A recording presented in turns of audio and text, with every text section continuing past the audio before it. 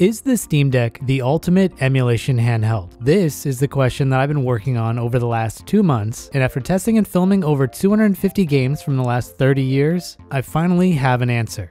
And that answer is yes. Even though I enjoy collecting and using a wide variety of gaming handhelds, I've always been on the lookout for something that could potentially be the handheld to replace them all. And if I had to pare down my entire collection to a single device, at this moment, I would pick the Steam Deck. This is a conclusion that kind of took me by surprise as I always thought that the Steam Deck would be too bulky or too heavy to be my only emulation handheld. When it comes to devices that I use outside of making content here on YouTube, I focus on several things, and not all of these are things that the Steam Deck does better than other products that I own. These would be software and support, product quality, and price versus performance. When it comes to software and support, the Steam Deck is by far the best. Since getting my original Steam Deck, I've received constant bug fixes and quality of life improvements from Valve that are easily downloaded and installed on the device itself. This flow of support from the manufacturer is great, but the real sauce is in the community support. The Steam Deck has one of the biggest user bases out of any current handheld, and with that comes a plethora of software that you can use and take advantage of. I've referred to this as feeling like you're on the winning team when discussing the differences between the Raspberry Pi ecosystem and other competitors, and I feel like it fully applies here. If there is something that you want that is not part of the default Steam Deck experience, you will probably find that someone in the community has already made it or is currently working on it. This could be things like theme support to turn your Steam Deck into a Wii or custom panel controls to adjust color and saturation. But the main benefit that doesn't get talked about too much when you buy into one of these winning products is that you have a very good chance of being able to solve any potential issue that you have with a quick search from a post from someone with the same issue. Just recently, the PS1 emulator on my device was not performing as well as it was the day before. A quick Google search brought me to a Reddit post from another Steam Deck owner talking about this problem with a copy and paste solution that I could apply to quickly solve this issue and get back to gaming. I came across a bunch of things like this while making this video where the solution was easy to find only because the Steam Deck user base is as big as it is. If this was any other handheld, these problems would have taken a lot longer to figure out. The Steam Deck also scores high marks when it comes to product quality. Even though it is pretty large, the Steam Deck is very ergonomic and it has a great set of controls. The controls on this are probably the best total package out of anything on the market today, but there are handhelds that have better individual controller components than what is offered here. The controller layout was strange at first, but I think it's perfectly suited for a broad mix of retro titles all the way up to modern ones based on my testing. To play these games, we have a large 7-inch screen. Even though I wish that Valve would have used a panel with better color accuracy than the one that they went with, this is still a great panel for gaming, and it's big enough that the Steam Deck can easily be played from a lap on a train or on a flight. Outside of those two scenarios, I think the front firing speakers are much better than the ones used in a lot of other devices that you can buy today, and they make the gaming experience much better. And finally, at $400 for the base configuration, plus a few extra dollars for an SD card, the Steam Deck has one of the best price versus performance ratios on the market.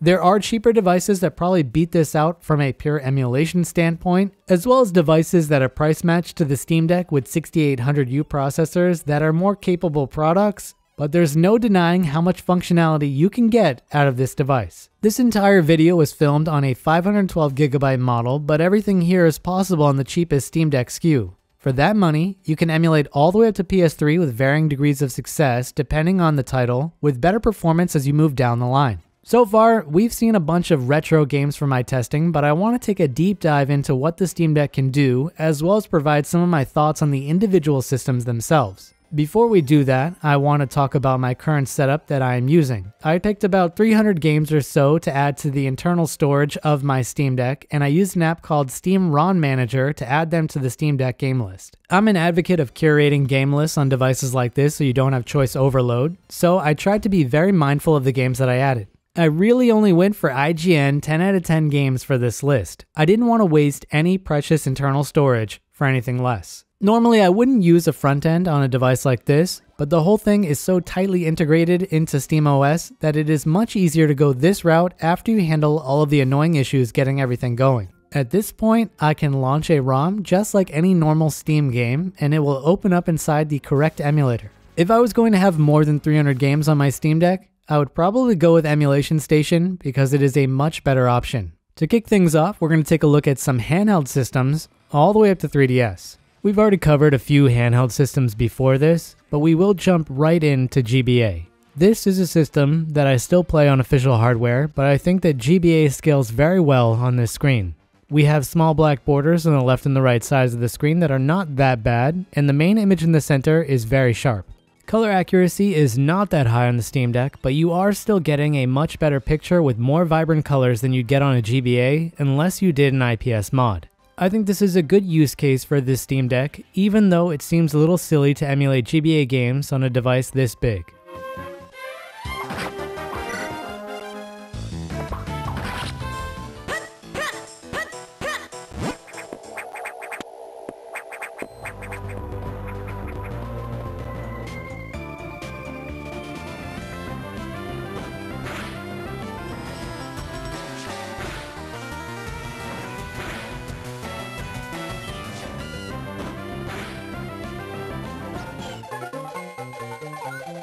Up from here, we have DS emulation, and this is also something that works out very well on this device. You have the option to choose a few layouts for this emulator, and this default one will show you the top screen as a large window, with the top and the bottom as smaller screens to the right. I like that the smaller screens are still easy to interact with because of how big our screen is. When it comes to PSP, we don't have the ideal native aspect ratio to emulate this system, so we will have some slight black bars on the top and the bottom of the screen. You can always stretch out the 16 by 9 image to fill out the full screen, but I think it's fine the way it is because the image that you're left with is still bigger than some 6 inch devices that are on the market. The games themselves play just fine, and I didn't have any issues testing the games that I filmed for this video.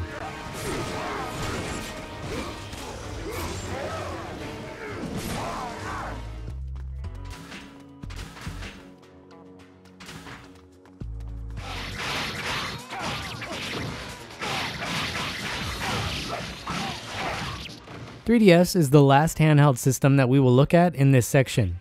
I was pretty happy with the performance that I was able to get out of my deck, and I like how easy it is to flip between different screen layouts on the fly. Even though it does perform well, you might still run into some shader compilation lag here and there depending on the game.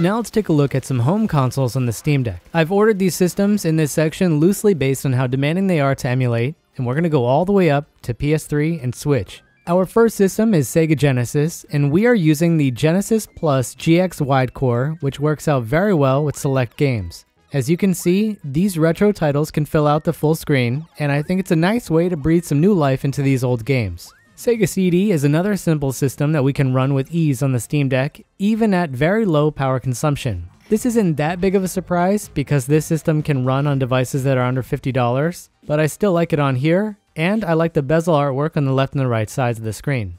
If you are interested in the small library of games available for the 32X, that system also runs well on this device.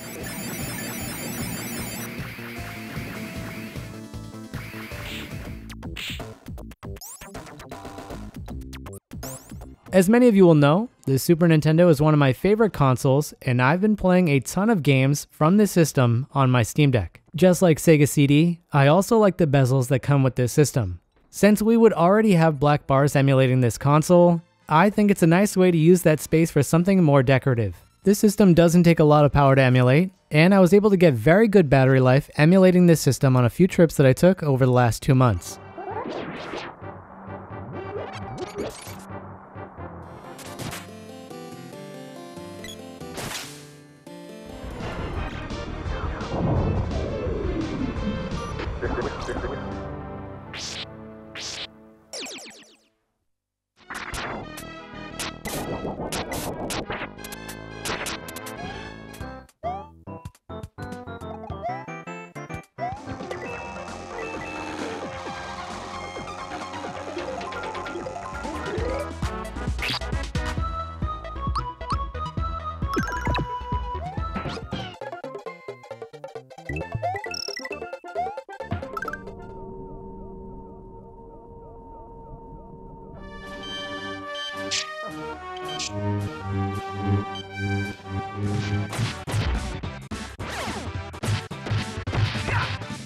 Our next system is Sega Saturn, and this is another one that runs very well on the deck. When we step into these 3D consoles, we can use all kinds of options to improve the picture quality and the rendering resolution, but I think the default settings on this work well.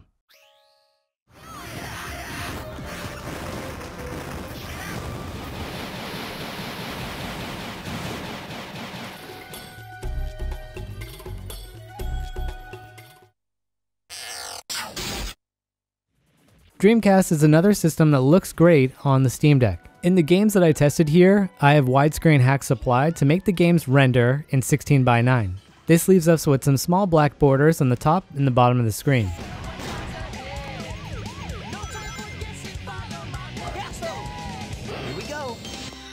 PlayStation 1 works in the same way the Dreamcast does. Here we have games rendered at 720p resolution with widescreen hacks applied. This renders out the games in 16 by 9, which is a great option in games that are predominantly 3D based.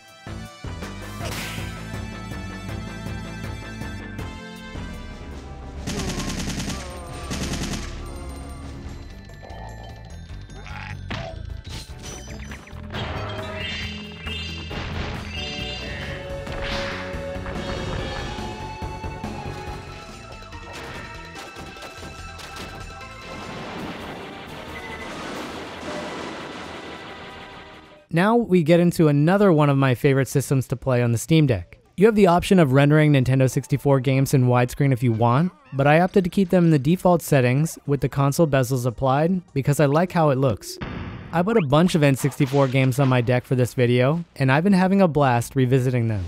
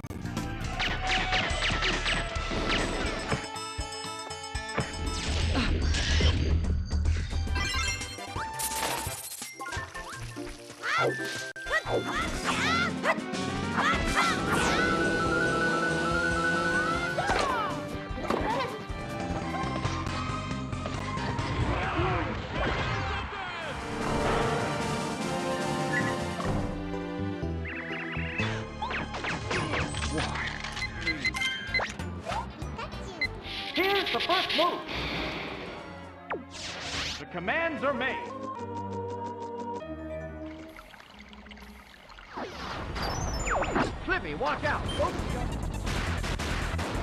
Kill him.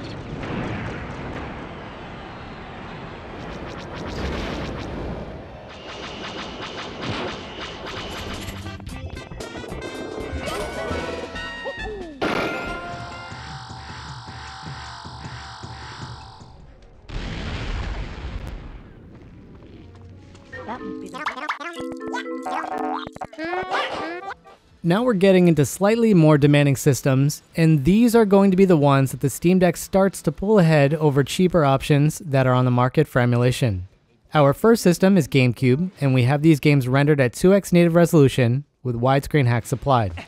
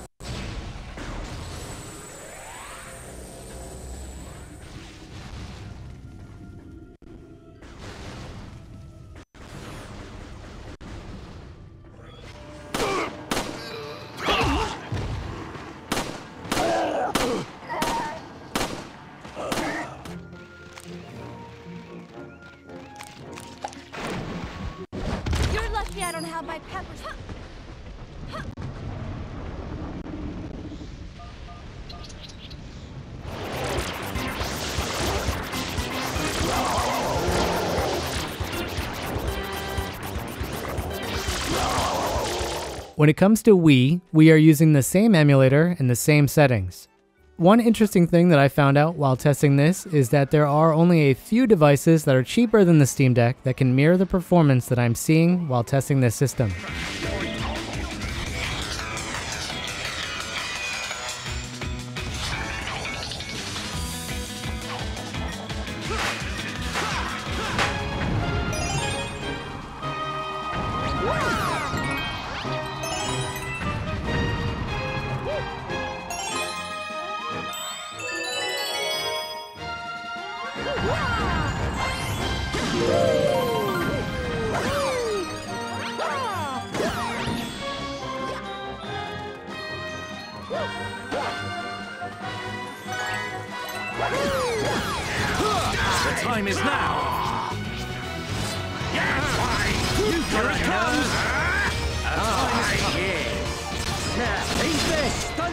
I did not have a lot of expectations for PS2, and I wasn't sure how well the Steam Deck would perform given that this system benefits from a strong CPU for more demanding games.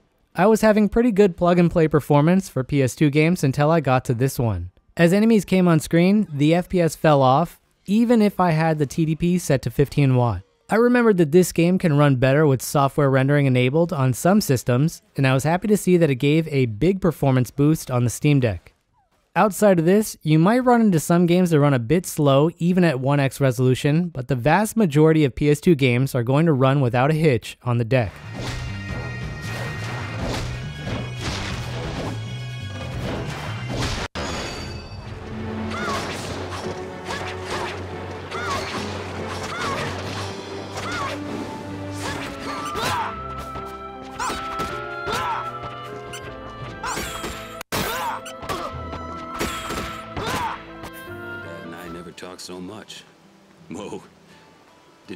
To reminisce, folks. Anyway, ten years later.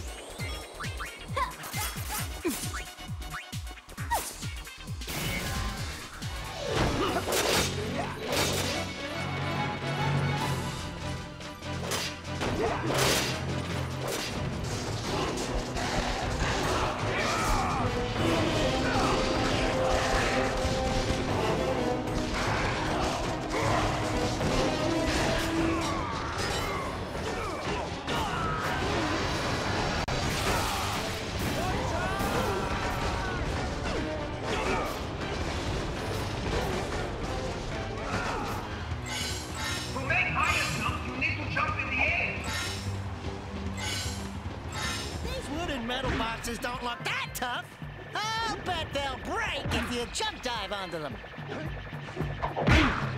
Hey, you oh, Alert. Prison escape in progress.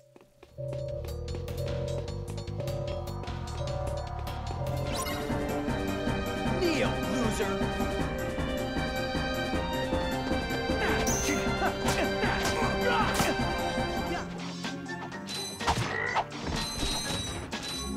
Gadgetron's OmniWrench 8000 includes a new use the R1 button to crouch.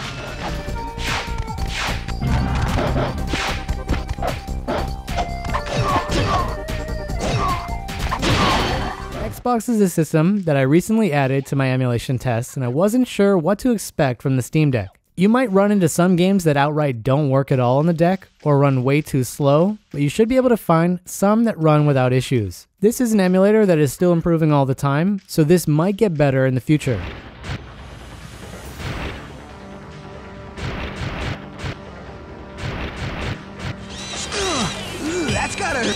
Mycosaurus Rex!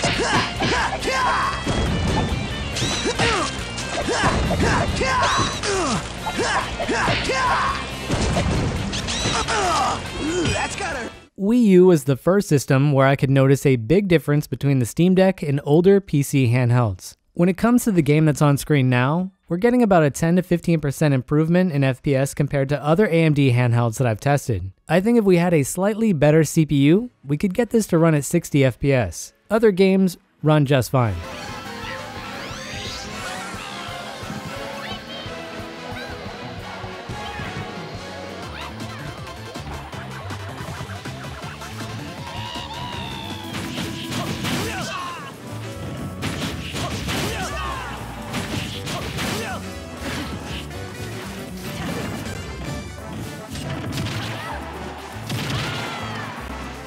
PS3 performance on the Steam Deck is a mixed bag. On one hand, it's cool that we can even get a single game to run with a 15 watt TDP cap, let alone a few, but on the other hand, it would be nice to see what we could have done with a better CPU. I experienced audio stuttering, low FPS, and long loading times, but I still think it's cool that we can emulate some games on this.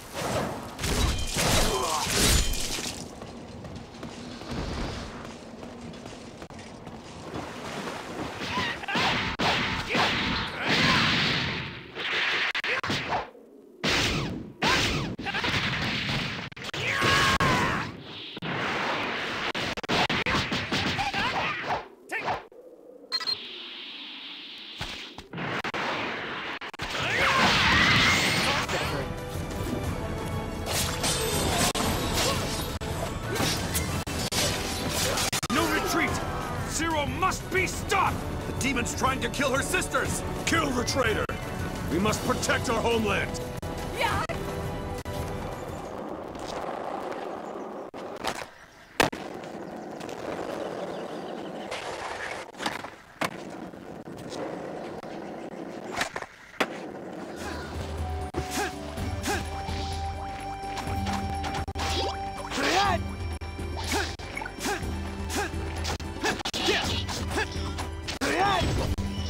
Our last system is Switch, and this is one that runs very well on the deck. I always say that you're better off with a real Switch if you want to play these games because you'll have better battery life and a cheaper device, but the Steam Deck doesn't cost that much more than a Switch. The funny thing is that we can get even better performance than the Switch in handheld mode for some of these games.